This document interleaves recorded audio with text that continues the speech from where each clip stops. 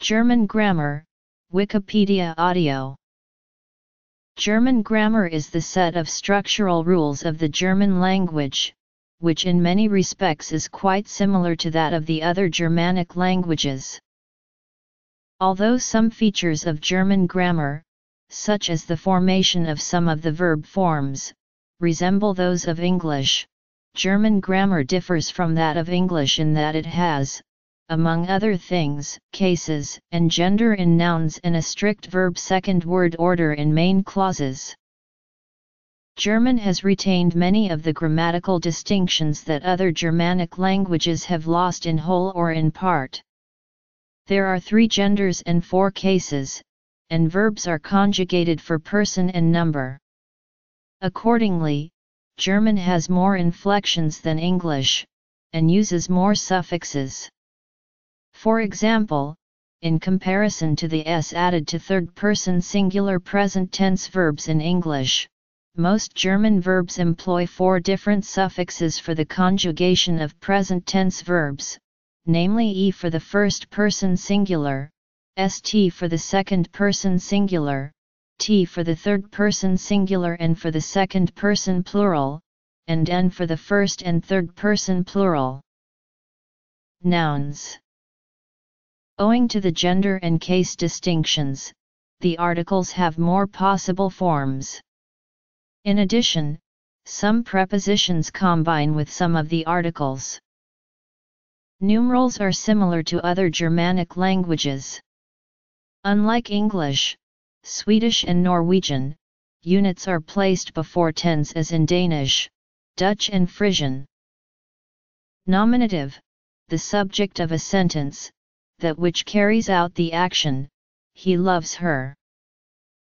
A German noun excluding pluralia tantum has one of three specific grammatical genders.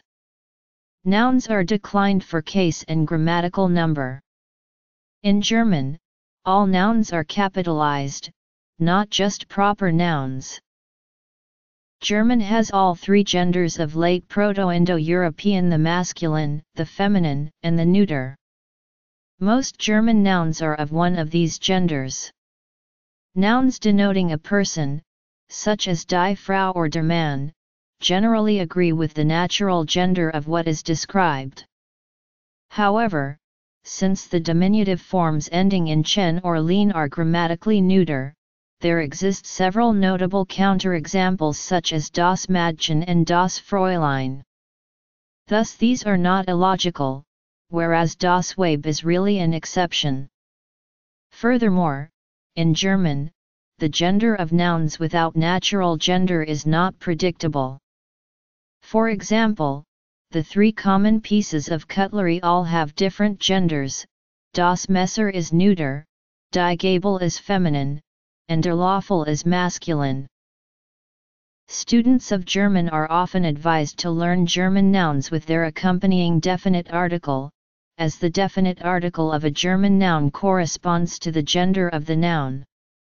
However, the meaning or form, especially the ending, of a noun can be used to recognize 80% of noun genders. For instance, nouns ending in the suffixes heit, keit, dung, tat, or shaft are always feminine. Nouns ending in ich, ig, or ing are nearly always masculine. As noted above, nouns ending in chen or lein are neuter. Many nouns starting with ge and ending in e, as well as many nouns ending in nis, tum, or sal, also are neuter. A noun ending in e is likely to be feminine, it is masculine when it denotes people or a few animals, die Katze, die Blume, and die Lieb are feminine, while der Boot, der Jung, and der Nabe are masculine. A few nouns ending in e are neuter, like das End. Similarly, a noun ending in er is likely to be masculine, however, das Messer and das Wasser are neuter, whereas die Mutter and die Butter are feminine. The German language has several different ways of forming the plural. Many feminine nouns are regular but many masculine and neuter nouns are not. For example, Some plurals are formed with an n or n, some with an umlaut and an e, other plurals are the same as the singular, and some add er or an umlaut and er. Many loanwords as well as some dialectal or colloquial nouns, take a plural in s. Some foreign endings, such as Latin um, are deleted before the plural ending. Sometimes the stress in the plural form is changed. Special colloquial or dialectal plural forms also exist. For example, Stalker is often used as the plural of stock stick in northern Germany, whereas the standard plural is stock. Die Drittumwerfend Vorstellung des Schillerdramas in Dieser Walk in Hamburg. Unlike English, which has lost almost all forms of declension of nouns and adjectives, German inflects nouns, adjectives, articles, and pronouns into four grammatical cases. The cases are the nominative, genitive fall, to, fall, dative, and accusative. The case of a particular noun depends on the grammatical function of the noun in the sentence. Note, in earlier usage German words derived from Latin also had a vocative and an ablative case, and some words still have a vocative. Die Dreh, der Grossmann, der Mann. Gender In contrast to strongly inflected languages like Latin, German expresses cases more through the article which accompanies a noun than through the inflection of the noun, although the number is also expressed by inflecting the noun. Other exceptions of a suffix expressing the case of a noun along with the article are the forms of genitive and dative singular and dative plural. Yet, one could still say that transferring the case information to the article preserved the German case system throughout its development from Old High German to contemporary German. Today, the use of the genitive case is relatively rare in spoken language. Speakers sometimes substitute the dative case for the genitive in conversation. But the genitive case remains almost obligatory in written communication, public speeches, and anything that is not explicitly colloquial, and it is still an important part of the Bildungssprache. Television programs and movies often contain a mix of both dative substitution and regular genitive, depending on how formal or artistic the program is intended to be. The use of the dative substitution is more common in southern German dialects, whereas Germans from northern regions use the genitive more frequently. Though it has become quite common not to use the genitive case when it would formally be required, many Germans know how to use it and generally do so. Especially among the higher educated, it is considered a minor embarrassment to be caught using the dative case incorrectly. So it is not typically recommended to avoid the genitive when learning German, although the genitive has been gradually falling out of use for about 600 years, it is still far from extinct. The historical development of the standard Sprach has to some extent re-established the genitive into the language, and not necessarily just in written form. For example, the genitive is rarely used in colloquial German to express a possessive relation, but the partitive genitive is quite common today. Furthermore, some verbs take the genitive case in their object, but this is often ignored by some native speakers, instead, they replace these genitive objects with prepositional constructions, e.g. ich sham mich diner, turns into ich sham mich wegen dir. A German book series called Der Dativ ist dem Genitiv sen alludes to this phenomenon in its title. In correct standard German, the title would be Der Dativ ist des Genitivs Tod, or alternatively Der Dativ ist der Tod des Genitivs.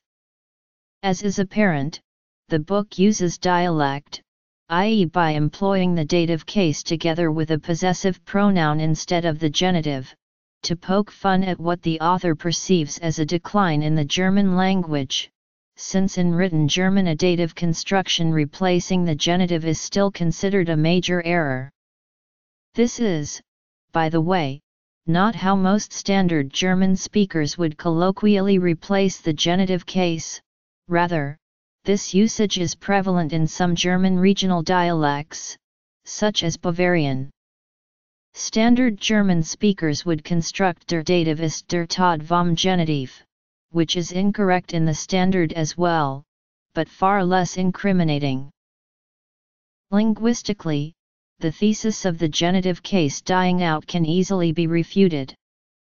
Indeed, the genitive case has been widely out of use in most dialects of the German language for centuries. Only the replacement of dialects by a colloquial standard German is new, and the use of the genitive case in the written language is unaffected. Also, many Germans wrongly use the genitive after prepositions such as nahe, gemass, and entgegen, although the dative is required. There are, however, legitimate dative constructions to indicate possession, as in Demneben ist ein Buch zu eigen.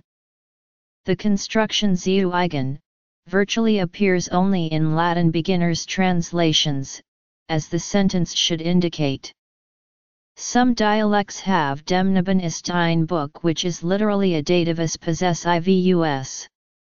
If a genitive is unmarked and without article, usage of von, followed by the dative, is not only legitimate but required, as in, die Belange von Minder Minderheiten zu schützen.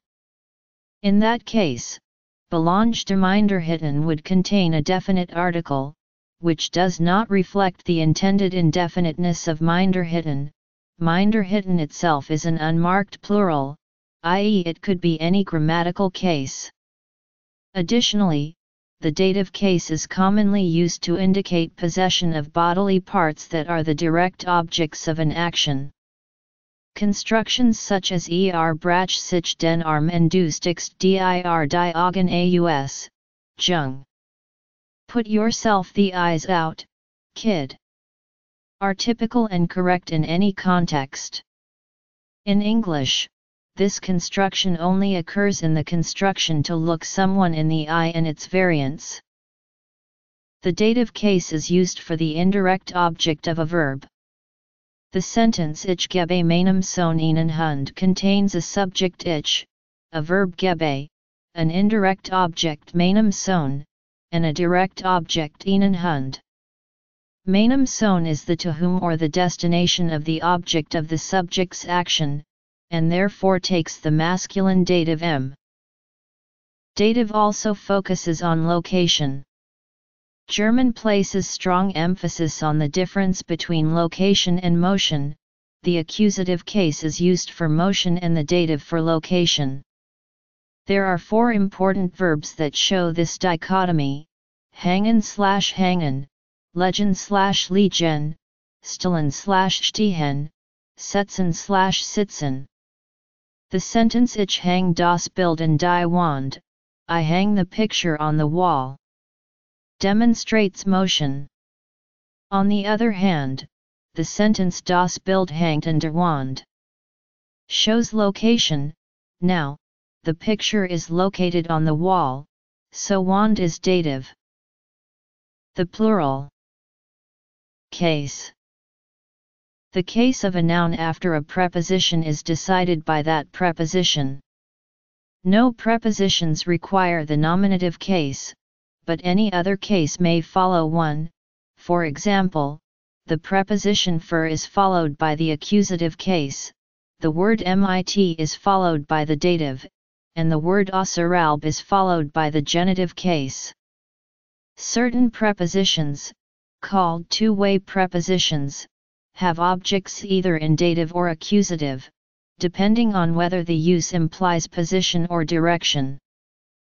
Ich kauf billiges Bier, ich kauf ein billiges Bier, ich habe Geld, ich habe das Geld or General. Genitive. Dative. Cases after prepositions. Nominal phrases Der Beruf des alten Manns, die Hut des Hauptlings des Stamms. A German nominal phrase, in general, consists of the following components in the following order, article, number, adjective, noun, genitive attribute, position, relative clause, reflexive pronoun. In Wolkem Himmel, der Bundeskanzler waren des Bürgerkriegs im Kongo.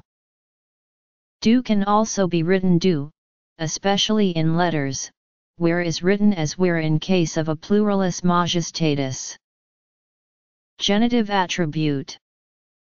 Of course, most noun phrases are not this complicated, adjectives, numbers, genitive attributes, positions, relative clauses, and emphasizers are always optional.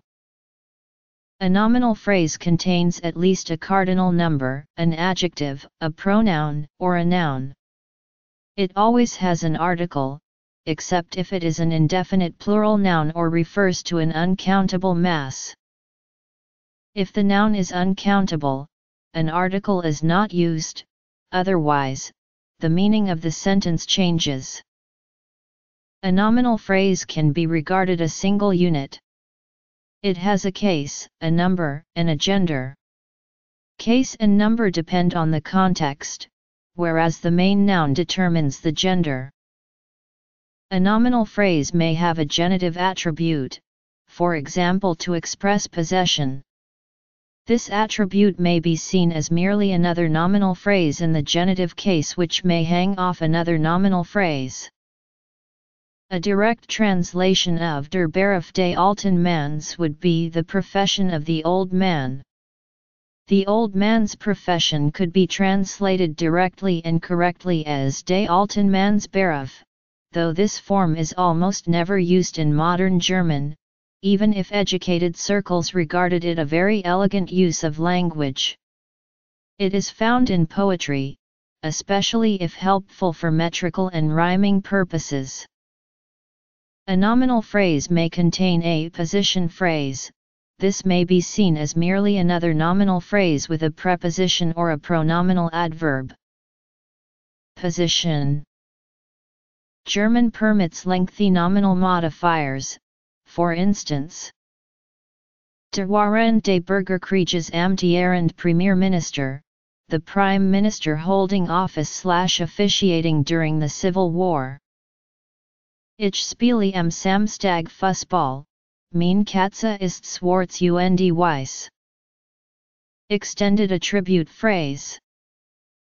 Die nach zu Anfang des Kurses relativ kleinen, aber doch merklichen Verständigungsschwierigkeiten, the communication difficulties still relatively small at the beginning of the course, but nevertheless noticeable.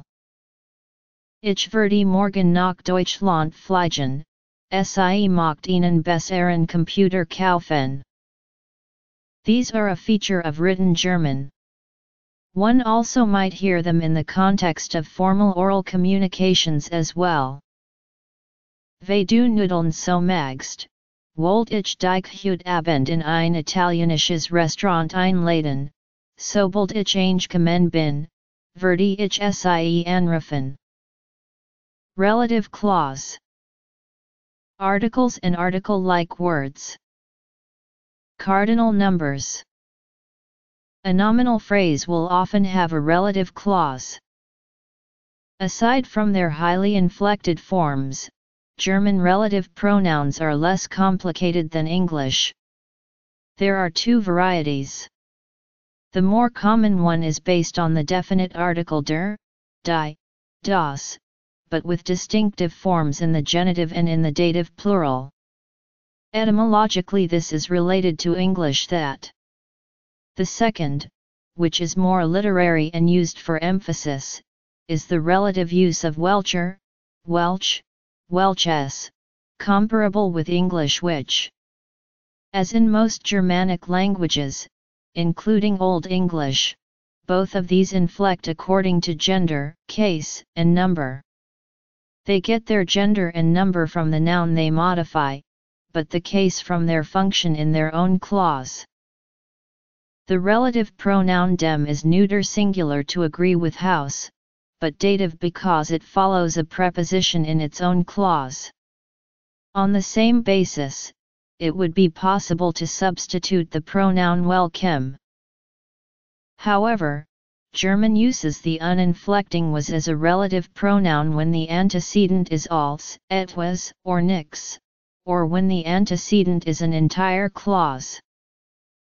But when was would follow a preposition, it needs to be replaced with wo and preposition or war and preposition when the preposition begins with a vowel. The same applies to indirect questions. In German, all relative clauses are marked with a comma.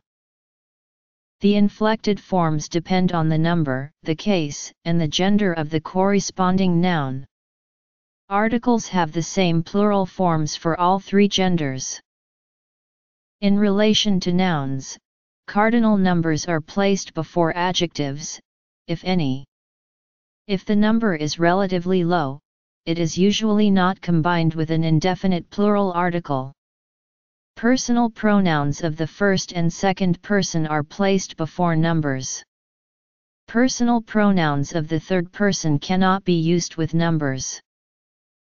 The cardinal number 1 is partly identical in form and inflection to the indefinite article. The number is distinguished from the article in speech by intonation and in writing sometimes by emphasis. In colloquial German, the indefinite article ein is sometimes shorted to, whereas ihn becomes. In dialects, the shortening may arrive at or in Upper German regions.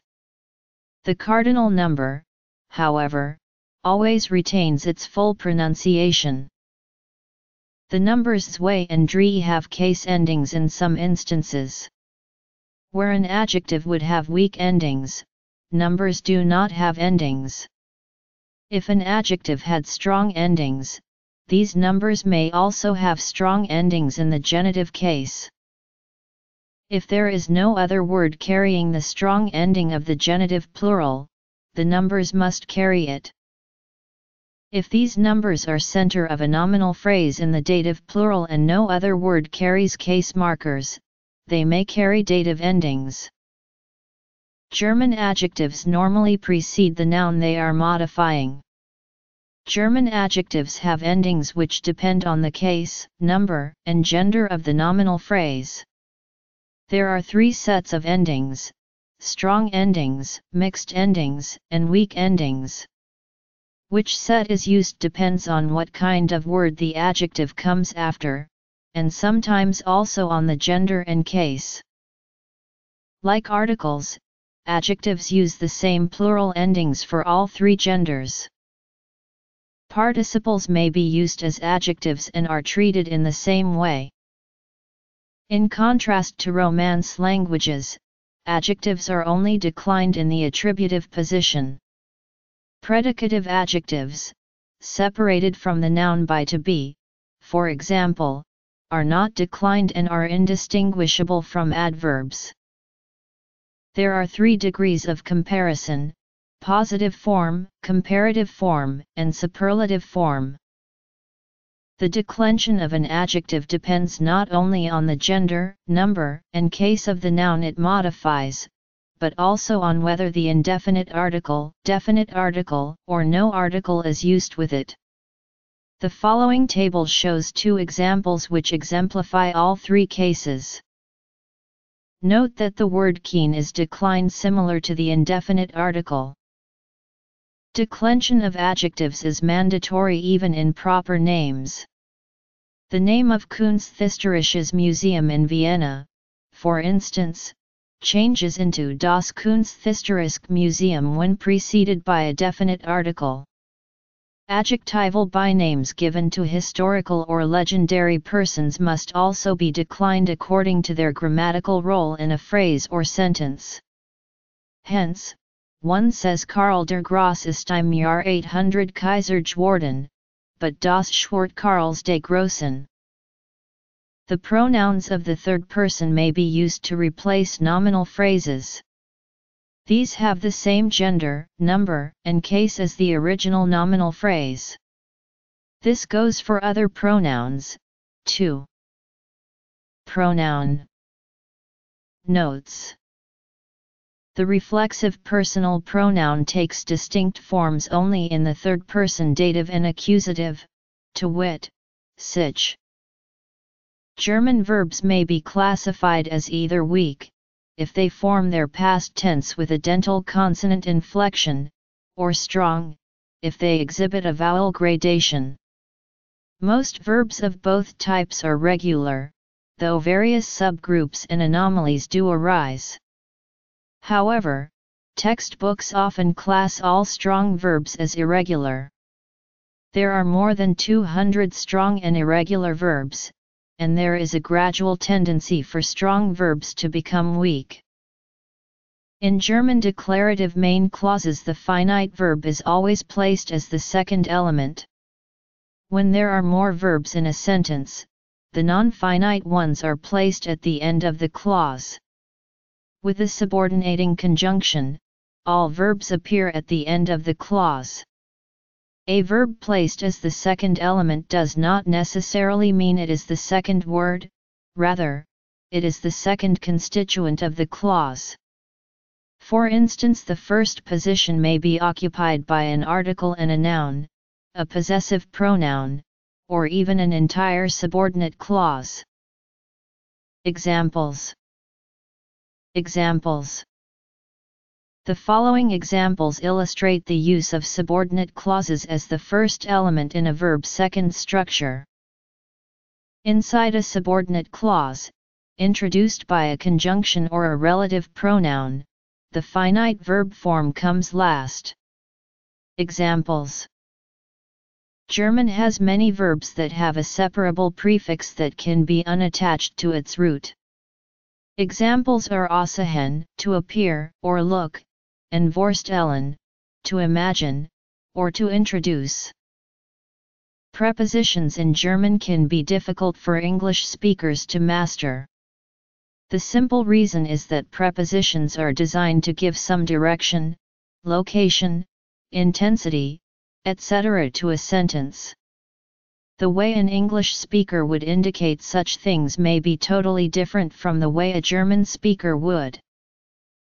Furthermore, there are instances where German uses a preposition in a way that might seem strange to a native English speaker, e.g. as a separable prefix attributed to a verb.